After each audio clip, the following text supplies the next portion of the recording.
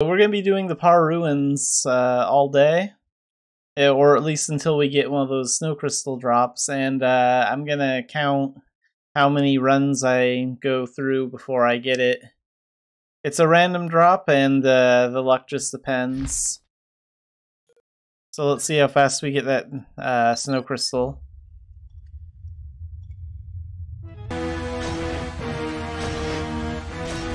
Okay, yeah, so each run takes about five-ish minutes to finish, and you can probably do about three par ruin runs in about 15 minutes, so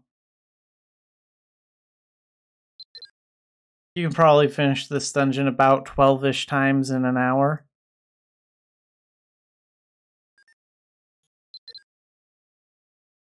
There it is! Finally got it.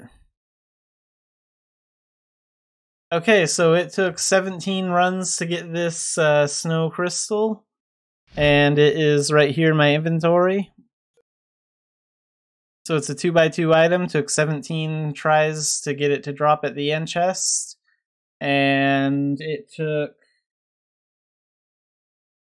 almost uh, 90 minutes. It took about 80 minutes to get.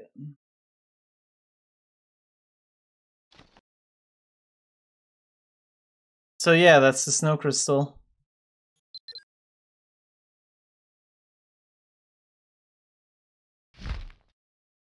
So really quick, how much is that worth on the auction house right now? Like how much gold did I save like by doing it this way?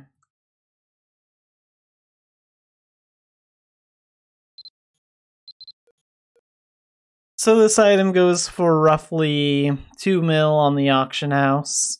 So yeah, like uh, you can buy it if you have the gold to spare, but why spend two million gold when I don't have to?